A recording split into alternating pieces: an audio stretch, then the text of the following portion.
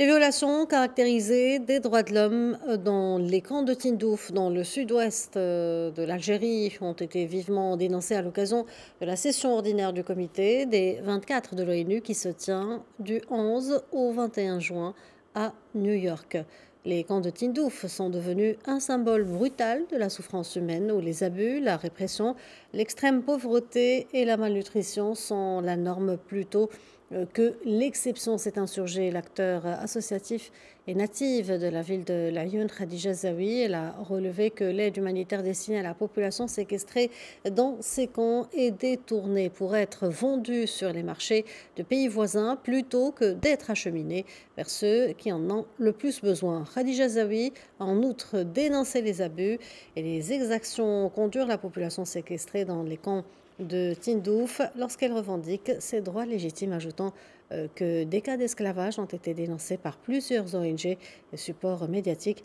L'intervenante a appelé la communauté internationale à agir rapidement et de manière décisive pour mettre fin à cette catastrophe humanitaire.